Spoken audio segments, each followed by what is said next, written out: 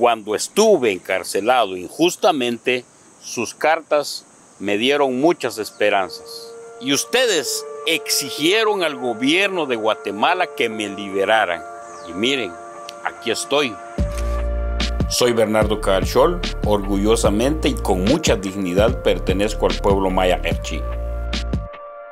Este río sagrado es nuestra vida. Nosotros comemos de él, bebemos de él y todos los seres vivos viven de él. Un día despertamos, estaban empezando a construir varias centrales hidroeléctricas. Teníamos que hacer algo. Mi pueblo me eligió para denunciar lo que estaba pasando. Yo sabía que esto podía tener consecuencias. Me consideraron un revoltoso y las autoridades intentaron silenciarme. Me acusaron de retener y de robarles a personas o empleados de la represa. Sin ninguna prueba, me encarcelaron durante siete años. Mientras yo estaba en prisión, me enteré que muchas personas en todo el mundo escribían cartas al gobierno de Guatemala para exigir mi libertad.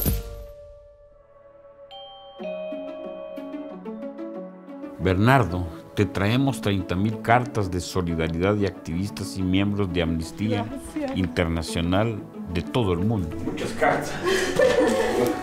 Pienso que es muy injusto que usted fue encarcelado simplemente porque defendió el río sagrado.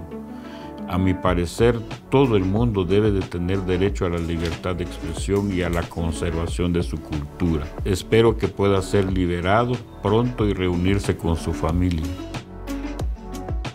Querido Bernardo, estoy contigo.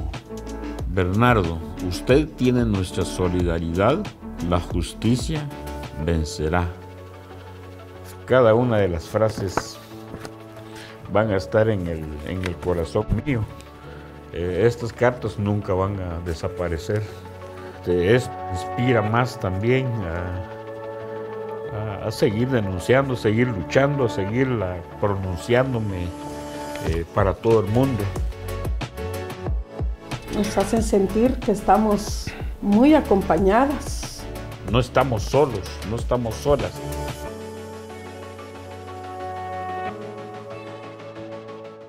Sus acciones me dieron esperanzas. Ahora estoy libre.